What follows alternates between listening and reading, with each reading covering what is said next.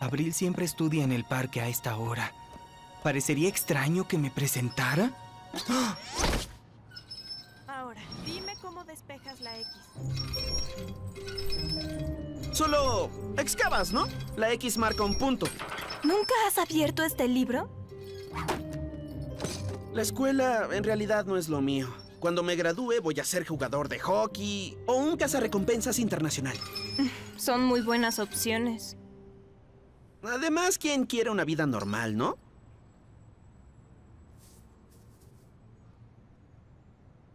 No te muevas. Tienes una mancha en la cara. ¿Tiene una cita? No puedo creerlo. ¿Con un simple chico humano? ¿Qué están diciendo? ¡Ah!